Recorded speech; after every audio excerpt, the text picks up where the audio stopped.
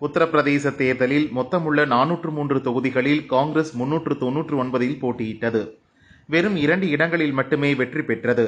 முன்னூற்று தொன்னூற்றி ஏழு சீட் தோற்றது மட்டுமல்லாமல் முன்னூற்று எண்பத்தி ஏழு இடங்களில் டெபாசிட் கூட கிடைக்காத பரிதாப நிலைக்கு தள்ளப்பட்டது. அதாவது போட்டியிட்ட தொன்னூற்றி ஏழு சதவீத சீட்களில் டெபாசிட் கிடைக்கவில்லை. மாயாவதியின் பகுஜன் சமாஜ் கட்சி அனைத்து இடங்களிலும் களம் இறங்கியது. இருநூற்று தொன்னூறு சீட்களில் டெபாசிட் போனது. பாரதிய ஜனதா மூன்று சமாஜ்வாதி ஆறு ராஷ்டிரிய லோக்தளம் மூன்று இடங்களிலும் டெபாசிட் இழந்தன.